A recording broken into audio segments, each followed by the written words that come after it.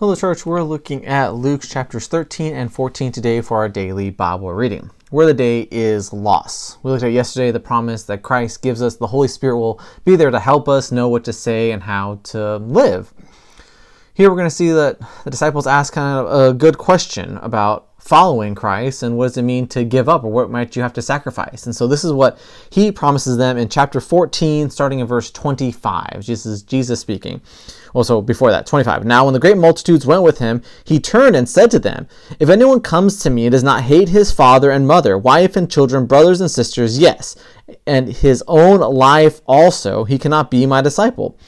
And whoever does not bear his cross and come after me cannot be my disciple.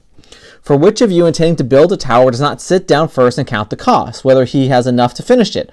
Lest after he has laid the foundation and is not able to finish, all who see it begin to mock him, saying, This man began to build and was not able to finish. Or what kind what king going to make war against another king does not sit down first and consider whether he is able with ten thousand to meet him who comes against him with twenty thousand?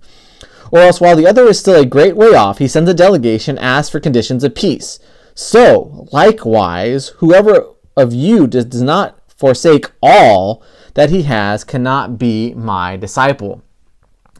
Christ wants us to consider the lost. Will we be willing to give up everything, to leave everything, to listen to the life lessons that Christ has given us, to obey him? Because it is not an easy path. But the reward is great. It's eternal life with God, it's blessings that will last for eternity. And so let us consider rightly what we're willing to give up and sacrifice in order to love and to serve our God. Regardless of the loss it may cost us now. All right, church, have a great day.